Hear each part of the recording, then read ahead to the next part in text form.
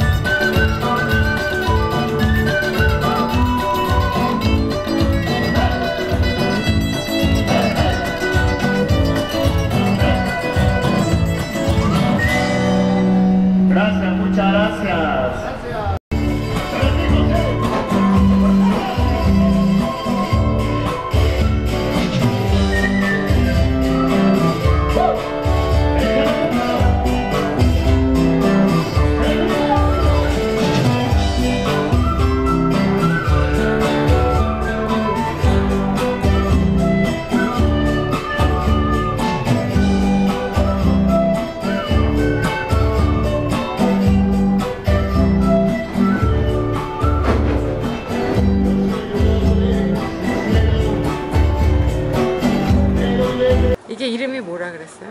꾸이. 뿌이. 아니, 기미꾸이? 여기, 여기 이름은 뿌이. 기니, 여기 이름 꾸이. 기니픽. 종, 기니픽 종, 종류. 그래서 편히 찍으세요. 됐어요. 아, 잘 찍혀. 요즘은 고추. 고추. 자, 여기 한번 맛을 한번 보세요. 여기 옥수수 막걸리 달짝지근하게 먹을만 합니다. 한번 맛을 보세요. 자,